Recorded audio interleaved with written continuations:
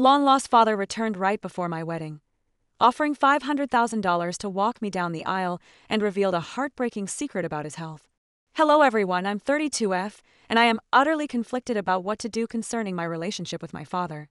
It's quite intricate and requires substantial background. My parents got married but separated just before I was born, finalizing their divorce a few months later. Regrettably, my father decided not to be a part of my life from the outset. You see, my dad was a chronic cheater and an alcoholic. They had married young because they were together throughout university, and my dad proposed to my mom thinking it was what he wanted. However, I suppose people change, and so do their feelings because three years into their marriage, my mom discovered he had been spending time with his ex girlfriend Hannah, whom he used to date back in high school. They had reconnected, and she seemed fixated on him. My mom told me how Hannah would show up at the house, demanding to see my dad. If he didn't answer her calls, she would insist on having dinner with him and be generally quite disrespectful to my mom and their marriage. Whenever Dad and Hannah would meet, they would drink heavily, which would prevent Dad from returning home. Hannah would insist he walk her back to her house. My mom told me how Dad would show up the next morning still hungover, and if Mom asked why he was out all night, they would have a shouting match. It wasn't just Hannah. My dad would also have flings with random women from the bar, but Hannah was a constant. My dad could be quite cruel with his words. He would constantly tell my mother how pathetic she was, and how other women were much prettier than her.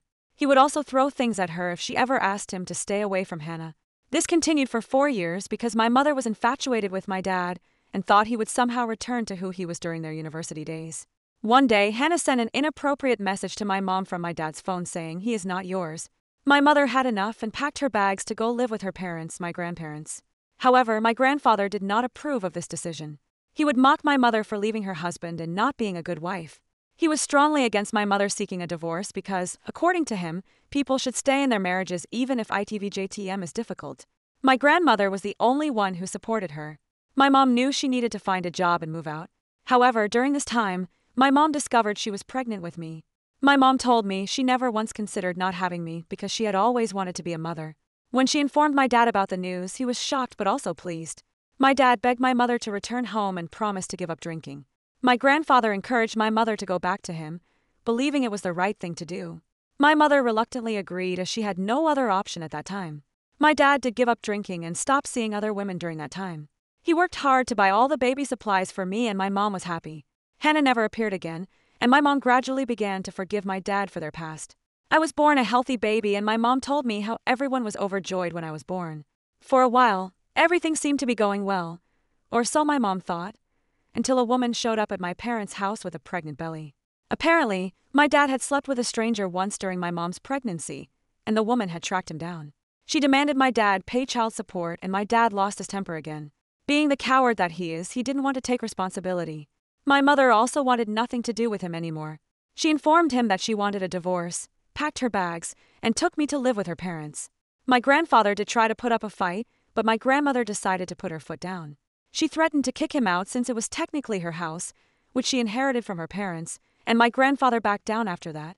Although he was resentful that my mother had walked away from her marriage and worried about what his church friends would say, he helped my mom take care of me in whatever way he could.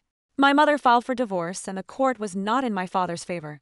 Thankfully, he was mandated to pay child support until I turned 16, and the other woman did the same. My dad, being the resentful person he is, decided to hurt my mother by saying that he wanted nothing to do with me and gave up full custody. My mother was hurt, but she knew it was better that I didn't grow up anywhere around him. I grew up with my mother and my grandparents, and I never even knew having a father was normal. It was only when my friends started to tease me about it that I began to question my mother. She would always change the subject and tell me how I was too young to understand. My grandmother would tell me the same thing. It was only my grandfather who was honest with me. He told me that I had every right to know where my father was and showed me pictures of him and his mom. In the pictures, my parents looked so happy. I could finally understand where my curly hair and green eyes came from since my mother and her side of the family all had straight hair and brown eyes. I felt curious to know more about my dad. As I grew up, I found out more and more about him. I decided to write letters to him and would beg my mother to mail them, but she would refuse. I would then seek help from my grandfather, who would begrudgingly agree. I wrote several letters to my dad but never received a reply. When I was 10 years old, a week before my birthday, I decided to confront my dad. We lived in a small town and I knew the neighborhood he lived in, even though I didn't know which was his house. I cycled to each and every house around the locality asking for him. In the end, One of his helpful neighbors pointed out his house to me. I was so nervous to ring his doorbell. But I gathered up my courage and thought he would be happy to see me finally. I wanted to show him that he was still my dad no matter what. When he opened the door, he looked like he had been drinking since last night. He stared at me for a few minutes before his eyes widened and he realized who I was. He immediately looked around and asked what the hell I was doing. My face fell and I told him timidly that I was here to meet him. I told him how I was going to be 11 soon and wanted to invite him to my birthday party. I told him that none of my friends believed I had a dad and I wanted him to attend my party. He looked shocked and told me to wait outside for a few seconds. He went inside, got his car keys, then put my cycle in his back seat and asked me to get in. Throughout the drive, he looked angry, and I felt like I had made a grave mistake. He didn't utter a single word, and when we reached my home, he yelled at my mother to come out. My mother ran outside when she saw me standing next to him and asked me if I was okay. My grandparents looked taken aback seeing my dad as well. My dad continued to berate my mother for allowing me to go and see him and told her, I don't ever want to see your child in front of my face again. I felt numb in pain and hurt as he continued to yell about how he didn't sign up for this and hated seeing how things turned out. Similar, I looked to him. He then drove away as if I meant nothing. I still remember the tears falling down my face. It felt like someone had kicked me in my stomach and the pain was everywhere. My mother just hugged me and kept crying. My grandparents brought us inside and even my grandfather broke down. He started to tell my mother how this was all his fault and that he should have never told me the truth. But the damage was done. I was numb for days and felt too sick to go to school. My grandfather would stay awake throughout the night for me since he blamed himself throughout all this. When I started to get better, he told me how I needed to forget about my father and that he was going to give me everything I ever needed. But I have to admit that my dad's rejection deeply affected me. I couldn't comprehend why he didn't want any connection with me, and it led me to internalize negative beliefs about myself. I began to think I was flawed, worthless, and even a bad person. These thoughts deeply affected my self esteem at that age and made it challenging for me to build healthy relationships with anyone. However, my grandfather did everything that he could to replace the role of my father in my life. He would show up to pick me up from my school and would make sure that none of my friends ever bullied me again by talking to their parents about their behavior. He also taught me to hunt and change attire, telling me how I needed to be independent. He would tell me how he never taught my mother all this because he grew up in different times. But after watching my father humiliate me, he did not want me to ever end up in a similar situation. I grew up and slowly started realizing that not everyone was like my dad. I realized I was surrounded by my mother and grandparents who loved me so much, and that was enough for me. When I turned 17 and started applying for jobs, I knew my grandparents were sad that I would be leaving them. I was sad too, but my mother encouraged me to apply to the best companies and talked about how I was not meant to be a small town girl. I applied to Microsoft, SpaceX, Pepsi, Apple, and Samsung. I got an offer from a good company with a full benefits package and moved out. Everything was so different living in a big city, and it took me a long time to adjust.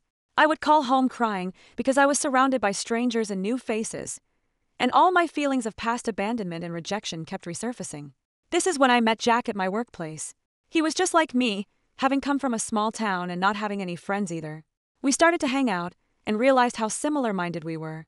Both of us were thirsty to be successful and make a name for ourselves. We would spend day and night cooped up in the office working or brainstorming ideas. As you can imagine, this is how we fell in love. We admired each other's intelligence and still do. When we both got promoted, Jack and I moved in together. During Christmas, we brought our families to meet each other. To our surprise, Jack's parents and my mother blended well. My grandparents were very proud that I had managed to secure a good job and make a successful career.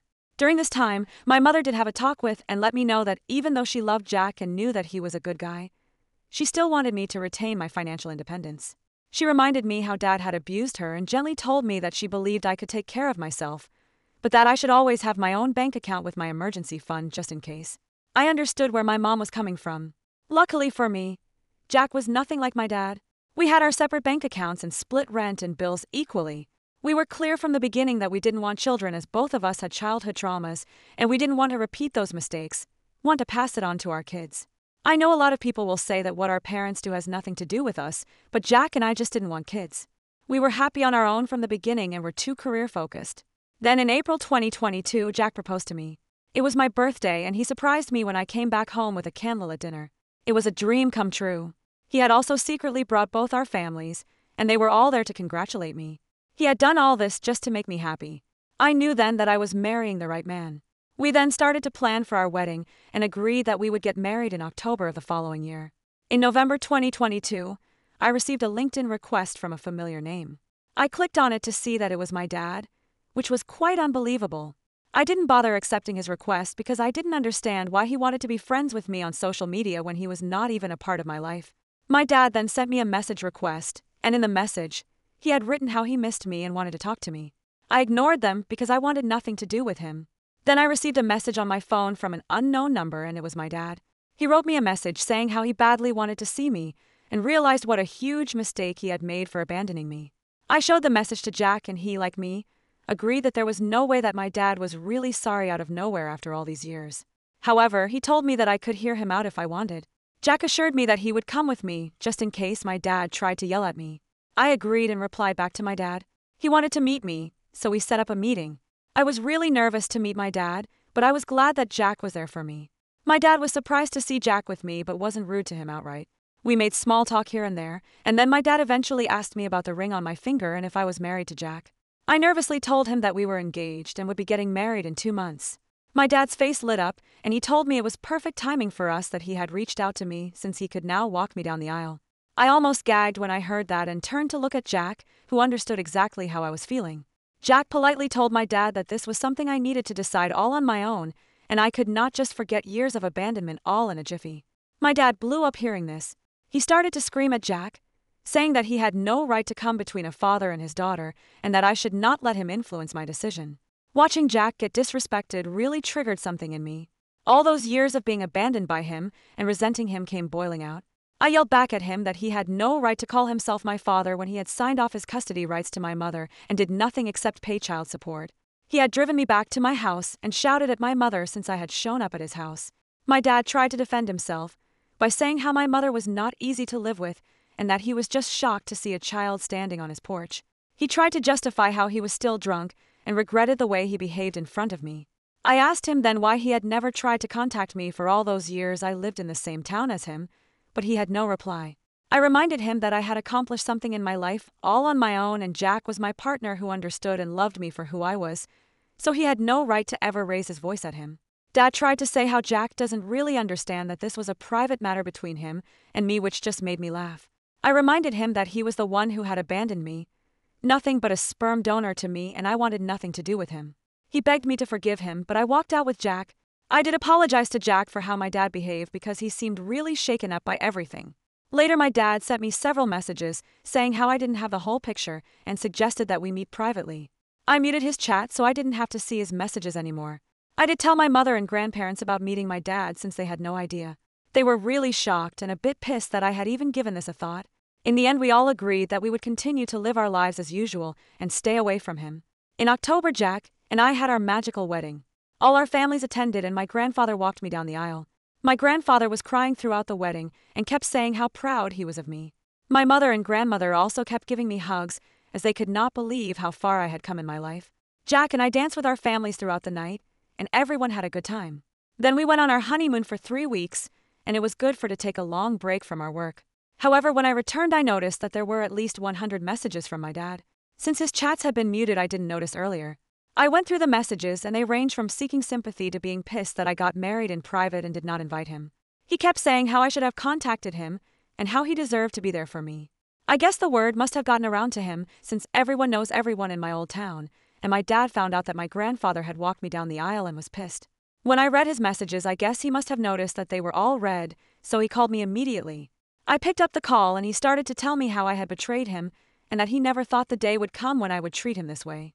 I really tried to patiently explain to him, yet again, that it was not betrayal when he was not my father to begin with. My dad then started to say how he had saved up $500,000 for my wedding and was going to give it to me. I scoffed upon hearing this because I thought that there was no way that this was true. Then my dad continued to say that he was ready to give me this money but all I had to do was get married again, even if it was a court wedding, and invite him, so he could be there for me. He told me how it was his dream to watch his baby girl get married, and even if I was already married, he would compromise as long as I agreed to his terms. I don't know what he was thinking or if he was even right in his head, but I straight up told him that this was ridiculous, and I didn't want his money, which made him pissed. He started yelling at me that I was just a spoiled brat and that I was cruelly punishing him. He said other things as well, but I told him that I was done hearing him out as my patience was wearing thin. Since then, he has kept texting me about how I broke his heart and that getting married again just for him wasn't even a big deal. I don't understand what obsession he has about seeing me get married again, and I honestly do not understand if I am in the wrong for refusing to get married again, even though my dad wants to pay me $500,000. Update. Okay, I've heard everyone out. There are so many comments under my post that it has taken me a while to get through them. First of all, a lot of you have concerns that my dad is probably lying again, which might be true. Also, since I find it extremely hard to believe he has $500,000 and just wants to give it to me without any strings attached, I do agree that his behavior seems extremely suspicious, have theories that he might be gravely ill and in need of an organ transplant, which terrifies me because there is no chance I would agree to donate anything to him. I feel like I need to confront him to find out the truth and give both of us some closure since something definitely seems off, and I want to understand what VDJTM is really happening. Secondly, many of you are asking about what happened to my dad's other child. Honestly, I have no idea. Unlike my mother, that woman wanted nothing to do with my dad except for the child support. It was a one time encounter, so they had no interest in each other VJTM's lives. I don't VJTM know if the other child has ever tried to reach out to him, nor do I care. It VJTM's my dad VJTM's problem in his life. He already messed up my life, so I doubt he would do any better with his other kid. Update 2. Well, I finally have an update, and some of you may not like it. I decided to meet my dad this past weekend to sort things out once and for all. He was more than willing to meet, this time I didn't VDJTM bring Jack because I wanted to handle it alone and confront my dad about everything. We met at a cafe, and I told him I knew something was up because there was no way he suddenly felt remorseful for everything he did years ago. My dad looked down, ashamed, and admitted I was right. He explained that last year he had been working when he suddenly had a severe headache and collapsed. He was taken to the hospital where doctors found a tumor in his brain. I won't get into the medical specifics, but they basically told him he didn't VGTM have long to live since the tumor was inoperable. After he was injured at work, he received a significant settlement because the company wanted to avoid legal issues, but they also terminated his employment. Since then, he realized all the opportunities he had missed and the people he had alienated in his life. He said his biggest regret was not being there for me. His voice cracked as he shared how he had a tough childhood with an abusive father, which made him think that VDJTM's how fathers behaved. When he met my mom, he thought he could finally be happy, so they got married. However, the stress from work and accumulating bills led him to become like his father, turning to alcohol and smoking. He acknowledged knowing he was becoming a monster but felt unable to stop and offered no excuses. He told me he gave up custody because he didn't VJTM want to risk treating me the way his father had treated him. He was terrified of the anger inside him and couldn't VJTM move past it. When he saw me at his door, he wanted to break down and hug me, but he feared letting me back into his life because he knew he would only let me down. He shared that he never started another family or got married, choosing to live in isolation to avoid causing pain to anyone else. He admitted he deserved all the anger and resentment I felt, but he was begging to be part of my life because he had only a few months left and wanted to spend that time with me.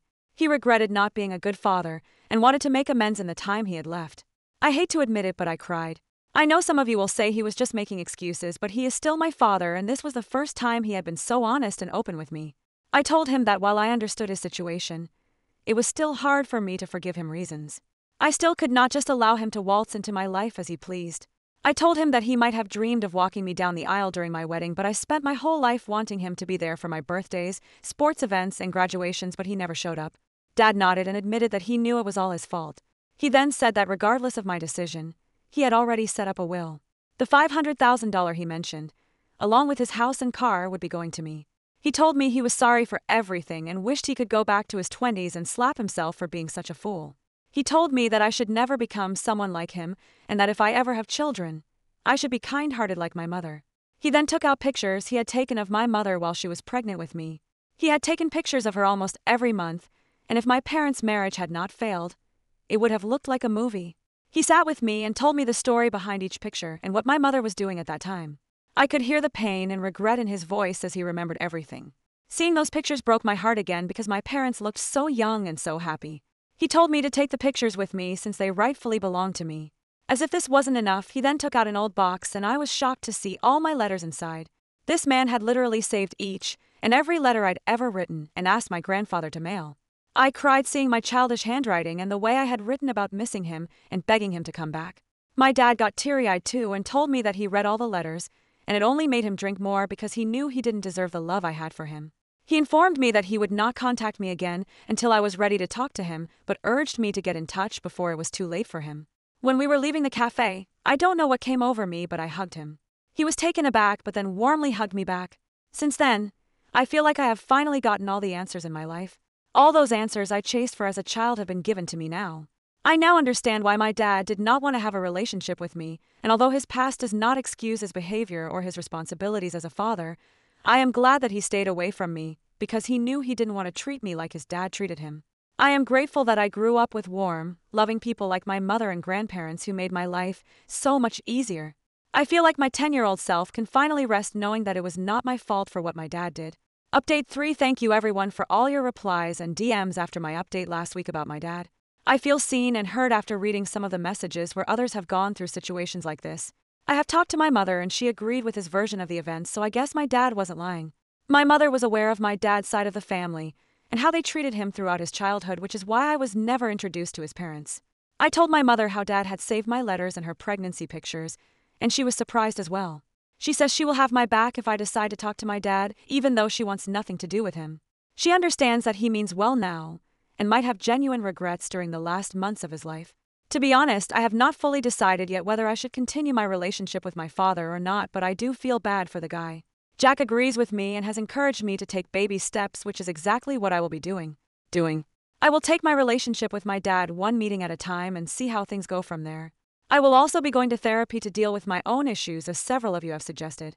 You are right, VDJ. I don't want to be like my dad and carry around all the hate and resentment in my heart.